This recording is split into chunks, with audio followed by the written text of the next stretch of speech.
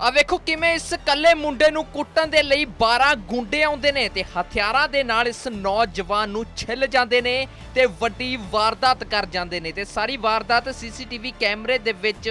ਕੈਦ ਹੋਈ ਆ ਤਾਂ ਦੱਸਦੀ ਕਿ ਗੁੰਡੇ ਦੁਕਾਨ ਦੇ ਵਿੱਚ ਵੜਦੇ ਨੇ ਤੇ ਤੇਜ਼ਧਾਰ ਹਥਿਆਰਾਂ ਦੇ ਨਾਲ ਇਸ ਨੌਜਵਾਨ ਤੇ ਹਮਲਾ ਕੀਤਾ ਜਾਂਦਾ ਹੈ ਤੇ ਹਮਲੇ ਤੋਂ ਬਾਅਦ ਇਹ ਮੌਕੇ ਤੋਂ ਫਰਾਰ ਹੋ ਜਾਂਦੇ ਨੇ। ਤਾਂ ਇਹ ਮਾਮਲਾ ਕਪੂਰਥਲਾ ਤੋਂ ਸਾਹਮਣੇ ਆਇਆ, ਜਿੱਥੇ ਨਕਾਬਪੋਸ਼ ਹਮਲਾਵਰਾਂ ਦੇ ਵੱਲੋਂ ਵੱਡੀ ਵਾਰਦਾਤ ਕੀਤੀ ਗਈ। ਤਾਂ ਮਿਲੀ ਜਾਣਕਾਰੀ ਅਨੁਸਾਰ ਇਹ ਨੌਜਵਾਨ ਦੁਕਾਨ ਦੇ ਅੰਦਰ ਕੰਮ ਕਰਦਾ ਸੀ। ਤਾਂ 10 ਤੋਂ 12 ਇਹ ਹਮਲਾਵਰ ਹੁੰਦੇ ਨੇ, ਜਿੱਥੇ ਦੁਕਾਨ ਦੇ ਵਿੱਚ ਵੜ ਕੇ ਇਸ ਤੇ ਤੇਜ਼ਧਾਰ ਹਥਿਆਰਾਂ ਦੇ ਨਾਲ ਹਮਲਾ ਕਰ ਦਿੰਦੇ ਨੇ। ਤੇ ਹਮਲੇ ਵਿੱਚ ਇਹ ਸ਼ਖਸ ਗੰਭੀਰ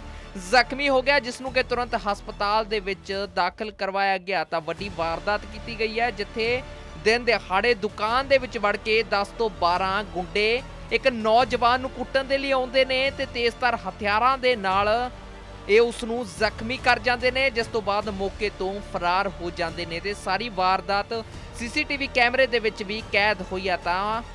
ਹੁਣ ਇਸ ਸੰਬੰਧੀ ਸੂਚਨਾ ਪੁਲਿਸ ਨੂੰ ਵੀ ਪ੍ਰਾਪਤ ਹੋ ਗਈ ਹੈ ਤਾਂ ਪੁਲਿਸ ਦੇ ਵੱਲੋਂ ਸੀਸੀਟੀਵੀ ਦੇ ਆਧਾਰ ਤੇ ਇਹਨਾਂ ਦੀ ਭਾਲ ਕੀਤੀ ਜਾ ਰਹੀ ਹੈ ਤਾਂ ਵੇਖ ਸਕਦੇ ਹੋ ਕਿਸ ਤਰੀਕੇ ਦੇ ਨਾਲ ਇਹਨਾਂ ਦੇ ਵੱਲੋਂ ਸ਼ਰੇਆਮ ਗੁੰਡਾਗਰਦੀ ਕੀਤੀ ਗਈ ਹੈ? ਦਿਨ ਦਿਹਾੜੇ ਦੁਕਾਨ ਦੇ ਵਿੱਚ ਵੜ ਕੇ ਇਸ ਨੌਜਵਾਨ ਦੀ ਕੁੱਟਮਾਰ ਕਰਕੇ ਇਸ ਨੂੰ ਜ਼ਖਮੀ ਕੀਤਾ ਗਿਆ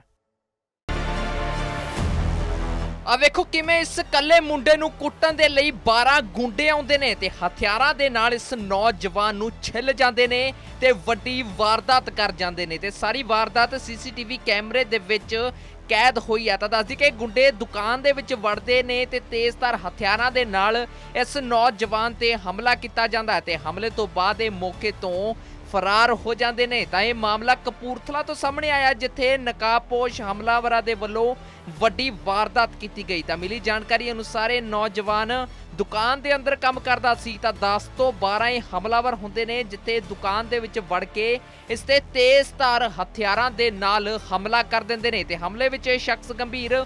ਜ਼ਖਮੀ ਹੋ ਗਿਆ, ਜਿਸ ਨੂੰ ਕਿ ਤੁਰੰਤ ਹਸਪਤਾਲ ਦੇ ਵਿੱਚ ਦਾਖਲ ਕਰਵਾਇਆ ਗਿਆ। ਤਾਂ ਵੱਡੀ ਵਾਰਦਾਤ ਕੀਤੀ ਗਈ ਹੈ, ਜਿੱਥੇ ਦਿਨ ਦਿਹਾੜੇ ਦੁਕਾਨ ਦੇ ਵਿੱਚ ਵੜ ਕੇ 10 ਤੋਂ 12 ਗੁੰਡੇ ਇੱਕ ਨੌਜਵਾਨ ਨੂੰ ਕੁੱਟਣ ਦੇ ਲਈ ਆਉਂਦੇ ਨੇ ਤੇ ਤੇਜ਼ਧਾਰ ਹਥਿਆਰਾਂ ਦੇ ਨਾਲ